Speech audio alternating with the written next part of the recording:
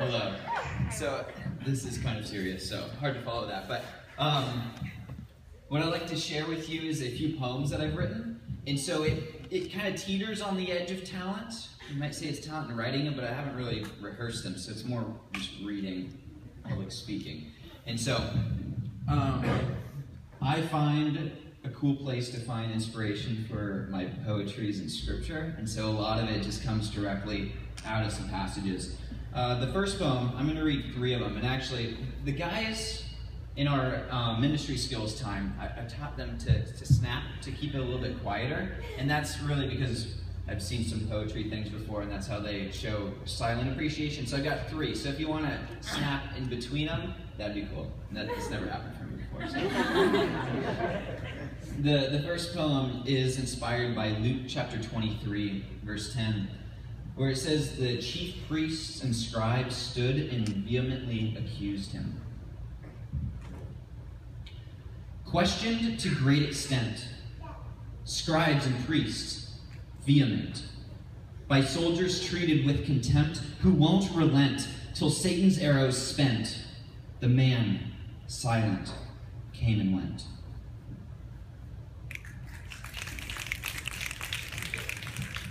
Thanks. Second poem, um, inspired by Matthew 27, 24, and the context around it. it. says, When Pilate saw that he could prevail, could not prevail at all, but rather that a tumult was rising, he took water and washed his hands before the multitude, saying, I am innocent of the blood of this just person. You see to it. Pilate proved himself a coward when he tried Emmanuel. The verdict guilty, so absurd, his attempts the crowd to quell.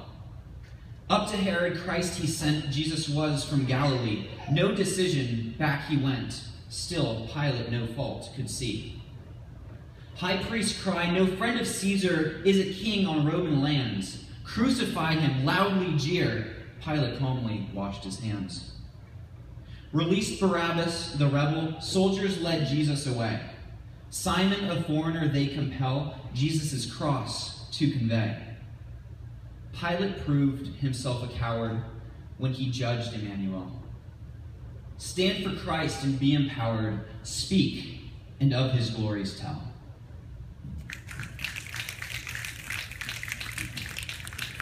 The last poem comes from Acts chapter 17. Paul's giving uh, a little sermon here, verses 24 to 31.